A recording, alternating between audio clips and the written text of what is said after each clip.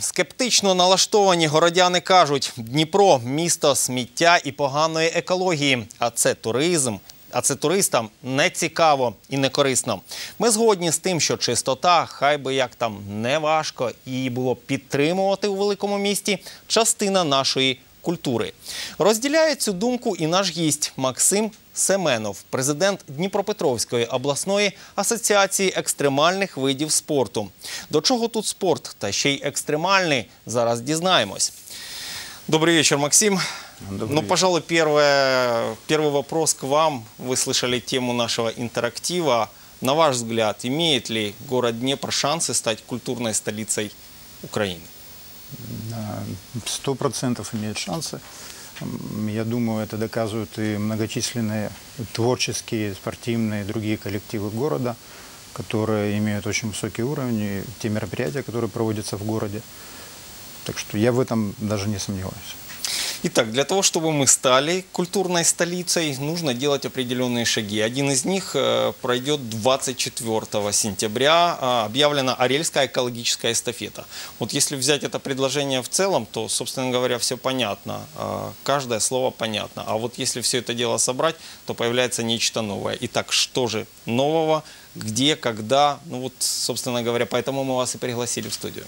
А, хорошо. Э, Ну, давайте разберем тогда экоэстафета. Это самое, по-моему, загадочное словосочетание э, в том, что вы сказали. Э, Мы решили провести не субботник, не банальную уборку там на какой-то местности. Чтобы это было интересно, чтобы привлечь жителей города, жителей области к этой акции, мы решили сделать такое, как соревнование. То есть это будут, э, все, кто туда приедут, будут разбиваться на команды и будут собирать, э, сортируя мусор, который находится вот именно в этом месте, в этой локации, которую мы выбрали. Этот мусор будет э, складываться, потом жюри будет оценивать команды по тому, кто сколько мусора убрал. Но это только первая часть этой эстафеты.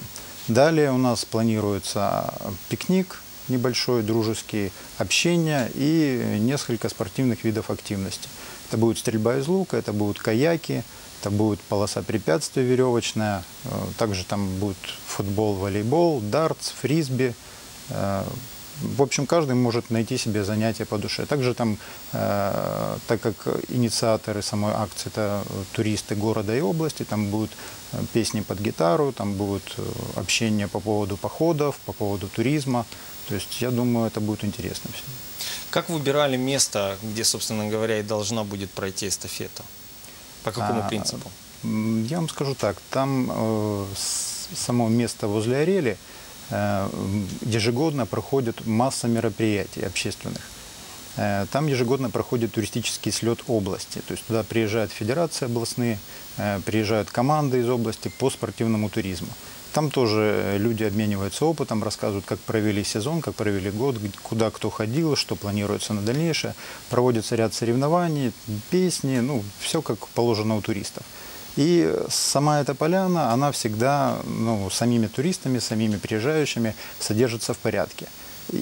Мы до этого прошлись по этой поляне, там действительно даже убирать нечего. Но вокруг этой поляны, то есть мы буквально перешли мостик по другую сторону и увидели, что весь берег э, завален мусором уже многолетним. То есть там уже не с этого сезона, там уже, я не знаю, лет Десятки лет, возможно. да, возможно, даже десятки лет.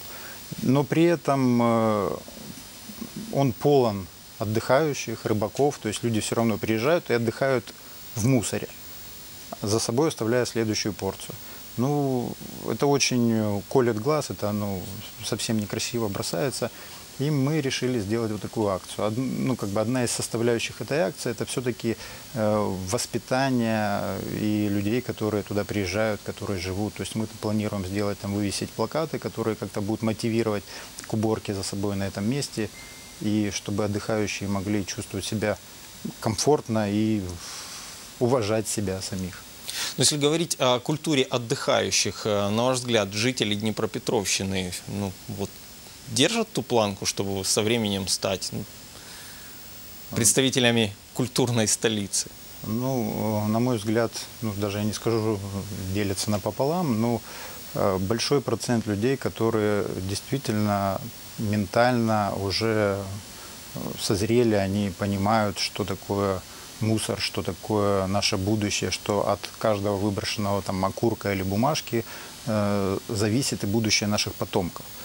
Но есть, все знают о том, что люди, которые, ну, они, на мой взгляд, они сами более низкого культурного уровня и э, даже не то, что не понимают. У некоторых людей я понимаю это вид протеста, то есть недовольство там, ну, не знаю, властью, экономической ситуацией у людей выливается вот в это. Они просто специально бросают и считают, что за ними кто-то должен прибирать. То есть мы, э, почему еще называется эстафета? Во-первых, мы хотим передать эстафету на другие такие подобные места, места э, отдыха, которые популярен, ну, популярные места отдыха у жителей области.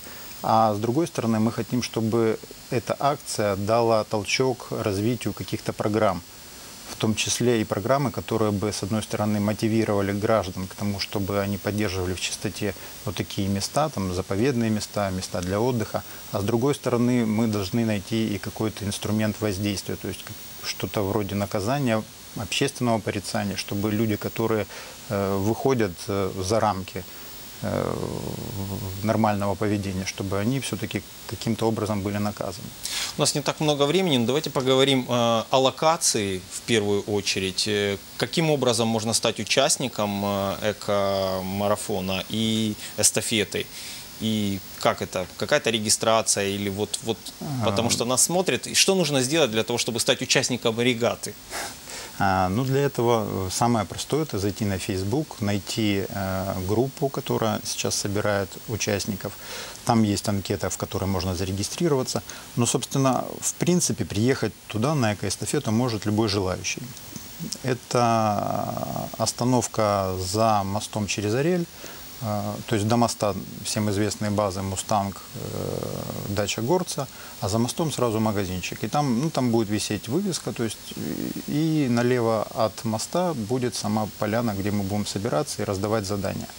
То есть присоединиться может абсолютно каждый. Даже не Даже зарегистрировавшись, не просто зарегистрировать, да. Ну, мы регистрируем э, с одной целью. Областная администрация пошла нам навстречу, навстречу нашим инициативам, и они помогают нам сделать э, эту эстафету не только полезной, но и максимально комфортной. То есть будет организован э, подвоз людей туда на э, автобусах, туда и обратно. И вот э- именно эти анкеты, они нужны для того, чтобы понять, какое количество людей будет, чтобы правильно спланировать э, транспорт. И я, я бы попросил всех, кто желает принять участие, чтобы они зашли на эту страничку в Фейсбуке. Просто можно в поиске ввести «Арельская экоэстафета», она найдется, и там зарегистрироваться в этой анкете.